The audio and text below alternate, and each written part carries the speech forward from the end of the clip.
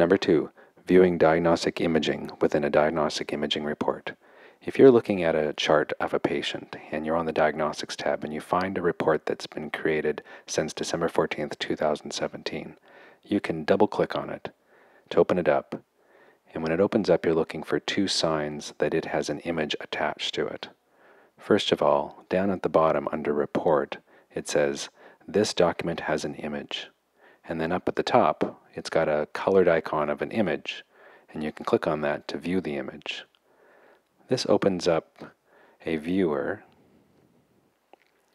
and loads the image and you can see the image much like a radiologist would. Of course, are not, these are not diagnostic quality, but it gives you an idea of what's going on. You can open it up and then use the sliders and many other features such as the hand and the uh, microscope to go through a CT scan or an X-ray or whatever image it is uh, much like you would if you were in the hospital. The actual report, of course, is visible to you as well, and so you can correlate the report to the images.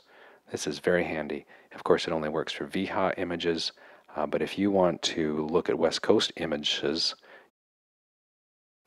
you can go to westcoastmedicalimaging.com, click on Physicians, enter RAD and then click to register.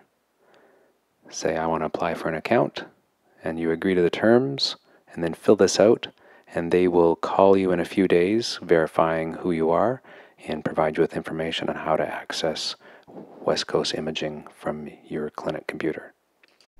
Making health IT easy for you and me. I'm Ian B.